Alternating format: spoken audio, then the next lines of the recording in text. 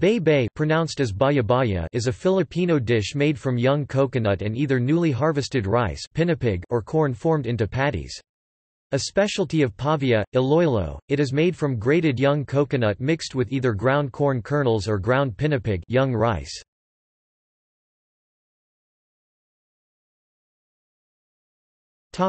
See also